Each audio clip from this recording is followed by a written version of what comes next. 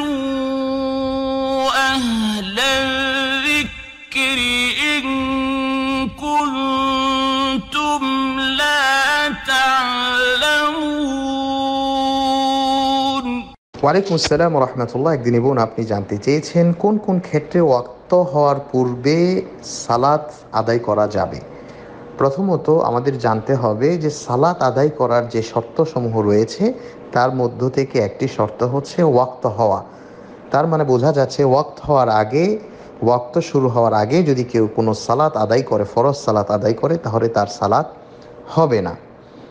এখন প্রশ্ন আরেকটা আসতে পারে, তাহলে আমরা সফররত অবস্থায় দেখা যাচ্ছে অনেক সময় আসরের সালাদটাকে আগিয়ে জহুরের সময় আমরা আদায় করি বা মাগরিব এশার সালাদটাকে আগিয়ে মাগরিবের সাথে আদায় করি।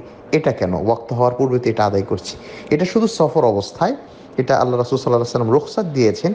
সফর অবস্থায় শুধুমাত্র যদি কেউ মুসাফির হয়, মাগরিবের সালাতের জন্য সে কোথাও দাঁড়াল, এমত অবস্থায় সে চাইলে এশার সালাদটা মাগরিবের সাথে আদায় করতে পারে। মাগরিবের তিন রাকাত আদায় করার পর আবার সেই কামত দিয়ে আলাদাভাবে দু রাকাত এশার কসর করতে পারে। এটাকে হাদিসের ভাষায় বলা হয় জামা তাকদিম।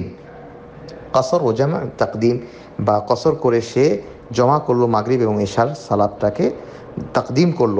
এশার সালাদটাকে তাকদিম করে আগিয়ে এনে মাগরিবের সাথে আদায় করল। ঠিক তেমনিভাবে জহুরের সালাদটাকে চাই আসরের সালাদটাকে চাইলে জহুরের সময় পড়তে পারেন বা আপনি চাইলে জহুরের সালাদটাকে আসরের সাথে পড়তে পারেন, আসরের ওক্তে এটাকে আখির বলা হয়।